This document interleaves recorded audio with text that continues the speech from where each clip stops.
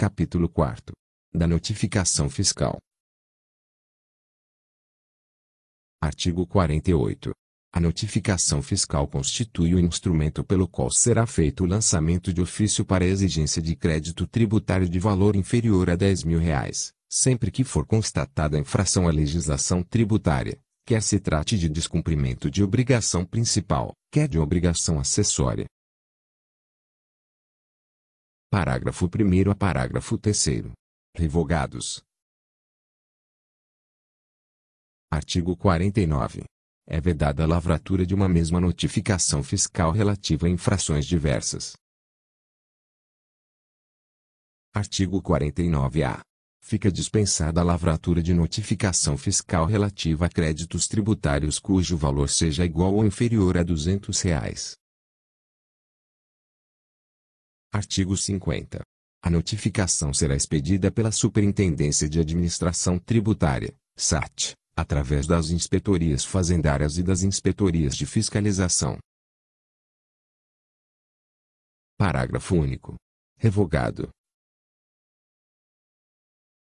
Artigo 51. A notificação fiscal conterá, no mínimo. Inciso 1. O nome, o endereço e a qualificação fiscal do sujeito passivo. Inciso 2.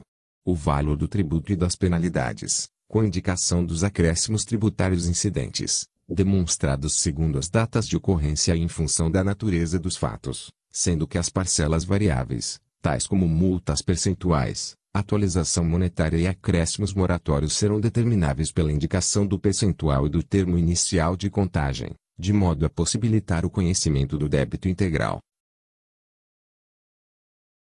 Inciso 3 a indicação dos dispositivos da legislação infringidos. Inciso 4 a intimação para apresentação de justificação no prazo de 30 dias. Artigo 52. O débito constante na notificação fiscal será recalculado no momento do pagamento verificando-se a correta aplicação das multas e os valores dos acréscimos tributários incidentes. Artigo 53. Uma vez intimado da emissão da notificação fiscal, o sujeito passivo terá o prazo de 30 dias, contado a partir da intimação, para apresentar justificação na repartição do seu domicílio fiscal, comprovando ser indevido o valor exigido. Parágrafo 1.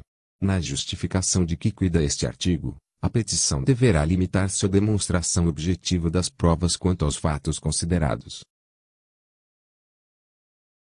Parágrafo 2.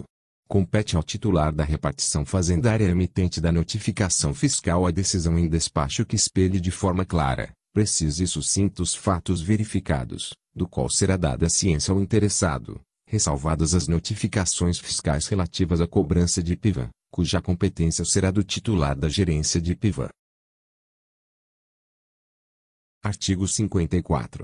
Decorrido o prazo estipulado para pagamento do débito objeto da notificação fiscal ou passados 02 dias após a ciência do despacho da autoridade competente que decida ser devido o valor lançado, total ou parcialmente, sem que tenha sido efetuado o pagamento, considera-se constituído o crédito tributário, devendo os autos serem encaminhados para inscrição em dívida ativa, na forma prevista no artigo 113.